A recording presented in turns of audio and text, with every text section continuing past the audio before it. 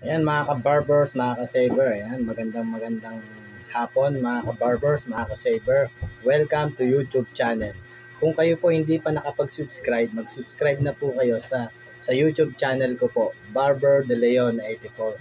So mga ka-barbers, meron po tayong uh, meron po tayo i-unbox na bagong sandata na Razor. Ang pangalan niya ay Made Show M10 Plus. Kaya mga ka-barbers, tara, It's hard to breathe, but that's alright.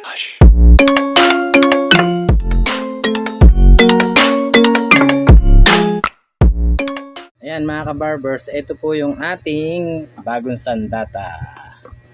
Ayan, Midjo. Midjo M10 Plus. Kaya buksan natin mga ka-barbers. Ayan.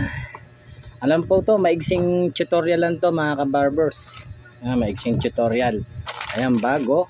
Manual. Ayan po, ito po yung razor. Ayan, bago po lang po to. Ayan. Oh.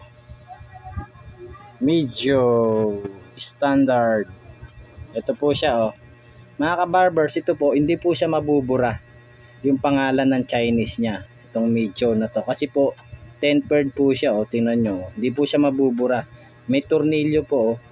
Pag binuksan nyo po ito buo, ayan oh, ilan yung tornilyo niyan? 2, 4, 6. Ayan, medyo. Oh. Ayan, papanda rin ko po mga ka-barbers. Ayan, lakas din po. Oh. Oh. oh. Lakas mga ka-barbers. Oh. Kaya, mapaganda po ang aking bagong Micho. Ayan. Ano po siya? Hindi po siya stainless. Parang plastic nga lang eh. Oh. Hmm. Chinese kasi yung sulat. eh. Hindi ko alam kung paano ano. Tapos yung mga guard niya, yan lang po. O, common na po sa inyo to. Mabilisan lang po. O, kaya mga ka-barbers, video, bagong razor, bago natin sandata. Kaya mga ka-barbers, wala na po, hindi ko na po patatagalin. Ayan, may sabitan. O, hindi ko na po patatagalin. Ayan, o. Ang ganda po, made show.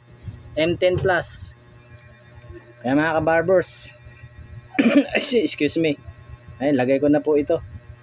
Medyo lang po, mabilis ang tutorial. Ala, ito, common na po itong mga ano na to, langis. Naka, wala po siyang charger. Pipili na lang po kayo ng halimbawa, meron po kayong extra charger ng cellphone. Ito po, dito na lang niyo po isusuot.